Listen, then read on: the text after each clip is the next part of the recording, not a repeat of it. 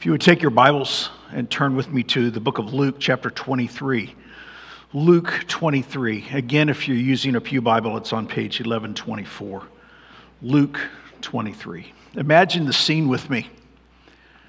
Perhaps you're out walking on a late morning with your children. You've decided to walk outside the walls of Jerusalem, and you have them by the hand and as you're walking along that ancient city and as you're reflecting on the beauty and the wonder of the life that you live in the city that is called the City of Peace, you round the corner of the city wall, and there is Skull Hill in front of you. And there on Skull Hill, to your surprise, on the top of the hill, there's a crowd gathered, a crowd down below the hill. And you can see and you try to shade the eyes of your children because you can see three crosses. And on those crosses, you see three men in unspeakable torture. You've never seen a crucifixion, but you've heard about it. You know that this is the way the Romans punish publicly as a deterrent the worst of criminals, at least those who are not Roman citizens and you hate Rome and all that Rome represents. And here you see Rome in all her gory, bloodlust power as you see three bodies hanging on crosses, bleeding, suffering, and dying. That's the scene that would have greeted you 2,000 years ago, just outside the city walls of Jerusalem and Palestine. And this is what happened in Luke chapter 23 as we begin in verse 39 for our consideration this afternoon. Many other things took place on that hill that day, but I want to draw your attention to those three crosses. Verse 39 says, One of the criminals who were hanging railed at him, saying, Are you not the Christ? Save yourself and us. But the other rebuked him, saying, Do you not fear God? Since you are under the same sentence of condemnation, and we indeed justly, for we are receiving the due reward of our deeds, but this man has done nothing wrong. And he said, Jesus, remember me when you come into your kingdom. And Jesus said to him, Truly, I say to you, today you will be with me in paradise. Three men in unspeakable torture, the horror of crucifixion. The intention is to kill by pain and suffering. Typically, death was by asphyxiation because the victim could no longer push up and catch a breath as he hung on that cross. And each of these three would soon be a corpse. And as you're walking outside the city of Jerusalem that day and you look up at those crosses, the appearance, apparently, they are all the same. And you would be justified in going home and describing this to your family, to your neighbors, as three worthless, evil, wretched rebels and criminals were crucified today. Because by appearance, they all looked the same. But in reality, they were much, very much different from one another. And though all of this is so far removed from your life and mine today, let me propose something to you. There's a sense in which we were there too. There's a sense in which we were on one of those crosses. Think about the first cross. Let's call him the sinner. This is the one who was railing and mocking Jesus on the middle cross. The Bible calls him a criminal. The idea is he was a thief, he was a, a robber. Let's ask the question where did he come from? Well, we know his race because he came from the human race. You recognize that's really the only race there is. He was of the human race, and therefore he was made in the image of God. And though that image in every human is drastically distorted, every person still bears that image. He is made in the image of God. And thus, at the very least, we can say he is responsible before God. And God had revealed his truth to him in creation and in his heart, in knowledge, and he was guilty. He was responsible. The assumption is he was Jewish because he uses Jewish language here. He has some exposure to the idea of a Messiah, a one who would come and that the, the God of Israel would send to deliver his people. This sinner had some sense of that because he uses that language to mock this one on the middle cross. That's where he came from. How did he get here? How did he get on the cross? Well, we don't know the specifics. We do know the terms that are used. He was a criminal. Uh, another text says he was a violent robber. Very likely, because of the, of the terror of this execution, he was an insurrectionist, like another fellow named Barabbas, who had, by incredible circumstances, had been released so that the man on the middle cross would die. And certainly, if he was an insurrectionist, he was under Rome's judgment, but also make no mistake, what we know is that he was also under God's judgment. How does he invest his final moments? Well, the text tells us he reviled and mocked Jesus. That's how he invested his dying energy. In his dying energy, he turned to this rabbi from Nazareth and mocked him and, and blasphemed him. That's how he got there. He's the sinner. And where was he headed? Well, his body, unlike, un, undoubtedly, was headed for a pauper's grave. He was likely on his own. No one would likely claim him. He was surely going to be buried in a pauper's grave, if even that. But his soul, his soul was headed to torment, the Bible tells us. This was the expectation of what we call the Old Testament. It's also the teaching of Jesus. When one dies in their guilt and in their sin, according to the story or parable, take your pick, but the story or parable that Jesus told in Luke chapter 16, immediately when one dies, if one dies in their guilt, they experience the torment of God's judgment. That's where he was headed. And so, even though his body would likely go into a pauper's grave, that's not the end of his body either, because the Bible tells us that one day the God of creation, who cares about this world and cares about bodies, will one day resurrect that body. It will be rejoined with that soul who is under judgment, and then will experience what the Bible calls a terrifying phrase eternal death, unending death. That's his destiny. That's the destiny of the sinner. And could I just point out for you today, just by way of passing, that there is never any ultimate injustice with God. A whole lot of things happen in this world, and it appears like people get away with it. A whole lot of people, it seems like in one way or another, because of their their wealth or because of the faultiness of our judicial systems, they seem to get away with far too much. But let me remind you God is the ultimate judge. This one who is a sinner is at this moment, his soul is in torment, and one day his soul will be reunited with a resurrected body, and that body will suffer eternally. That's the sinner. Well, what about the Savior? We say that he's on the middle cross. What about him?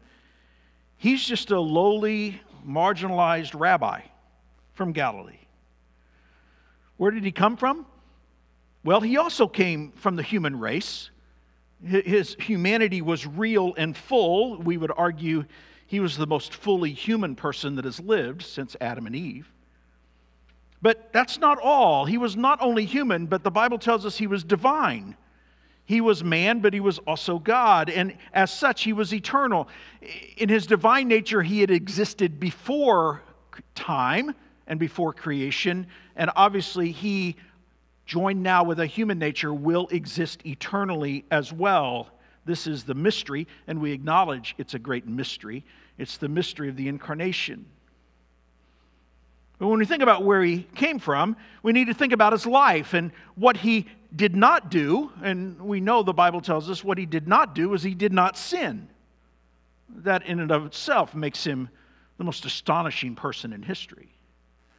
But we also need to recognize what he did do because the Bible tells us that he perfectly kept God's law, something that a lot of proud people had tried to do for centuries, and by the way, still try, but no one ever succeeds. But he did.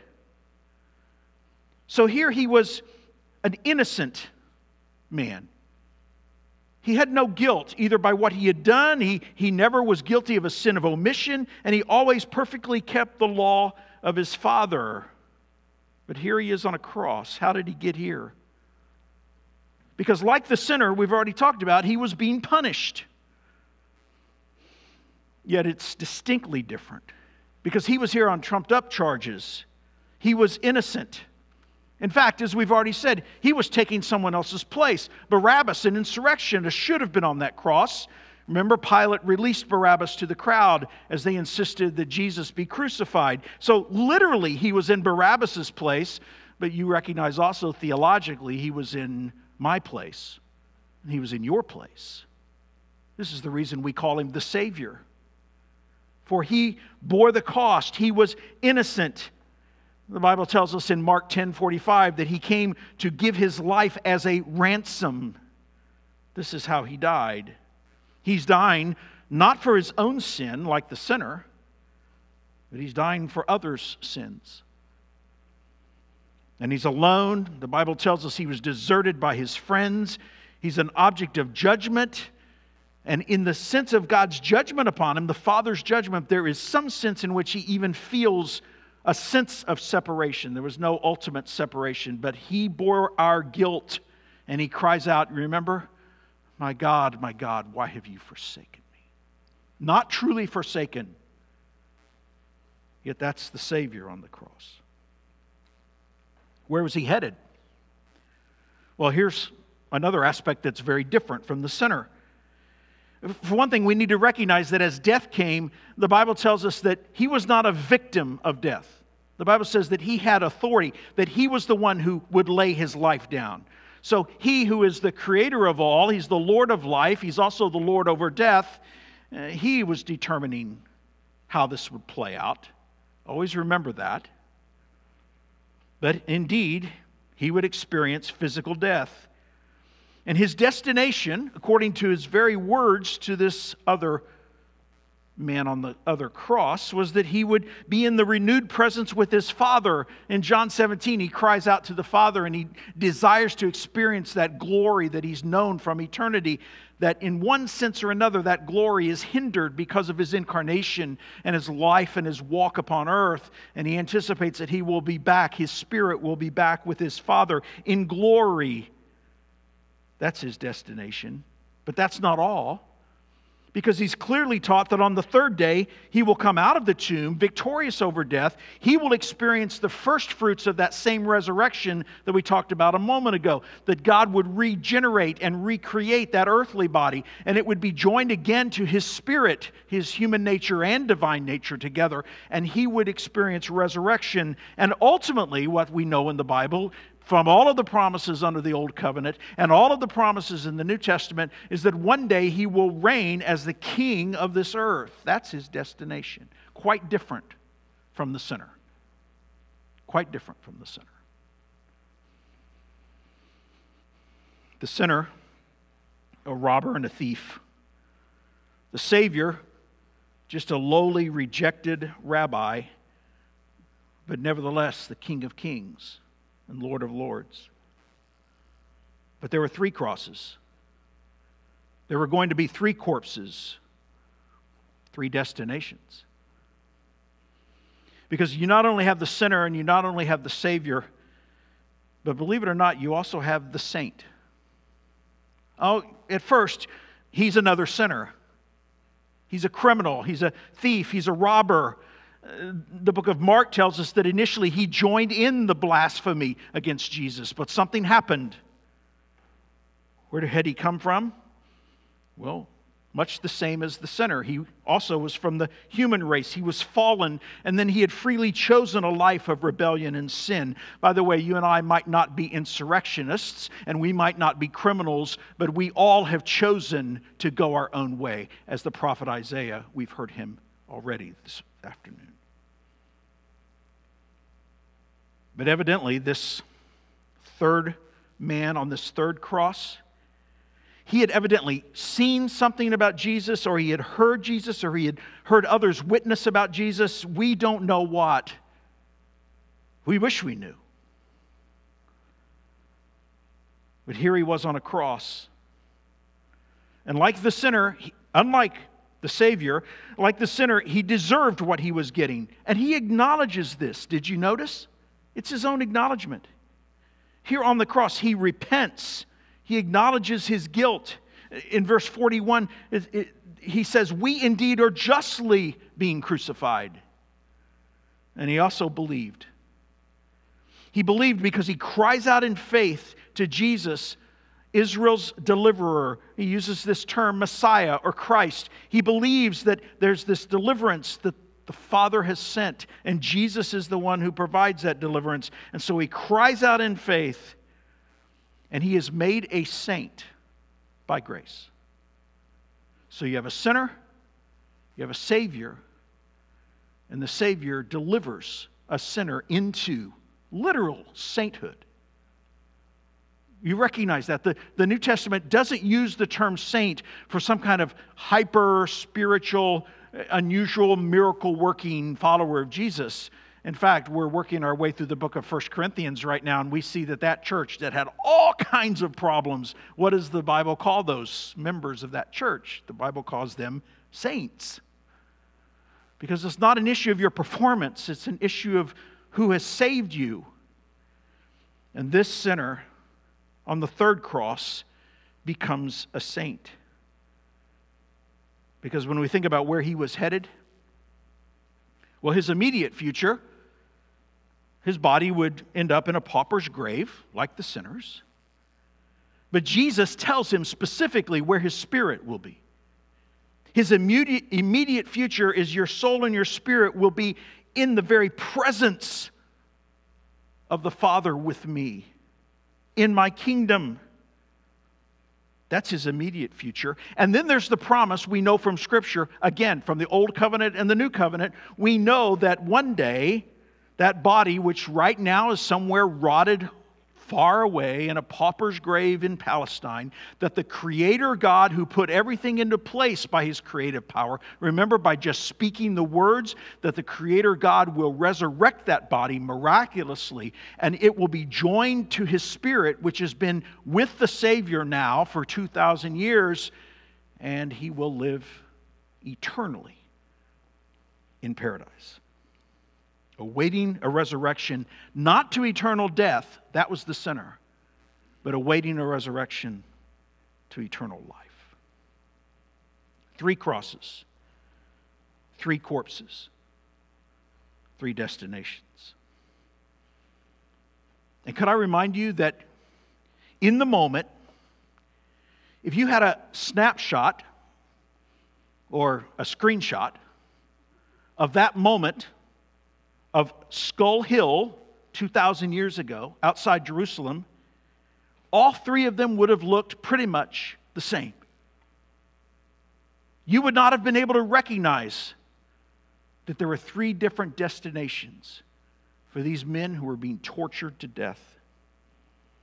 The cosmic reality, though, even though they look precisely the same on the crosses, the cosmic reality is they could not be more distinct and you recognize that destination, we could really use the term destiny, that the destiny is determined by what you do about the man on the middle cross, what you do about the Savior.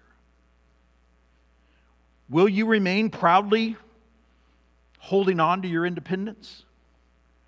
Will you refuse to admit your guilt and your need? Will you live your life saying, No one will rule over me? Will you pursue and define your own identity? Will you insist that you're good enough? If so, you will be in the same circumstances, the same destination, the same destiny as the sinner? Or are you willing to yield to and to trust in the Savior? Are you willing to say, like the saint ended up saying,